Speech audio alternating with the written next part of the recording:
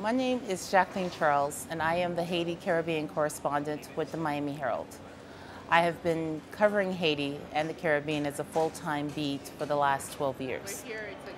We're currently here in Haiti, where I'm working on this project about curing cancer in Haiti.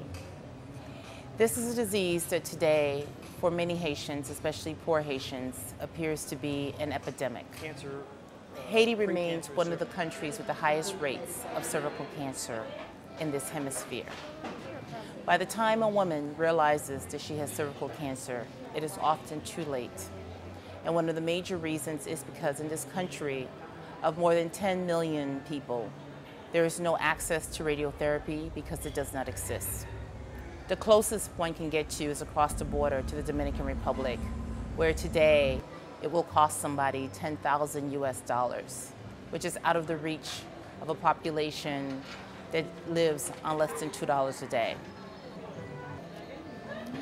I realized very early in my career as a reporter that I could affect change by talking to people who have no voice, who have no access, who cannot change their circumstance, but simply by talking to them and telling their stories, often help arrives. This lesson has been taught to me over and over again, especially here in Haiti. I am a journalist because you know, it is the vehicle for many of these individuals. It is the way that they can get some sort of solution.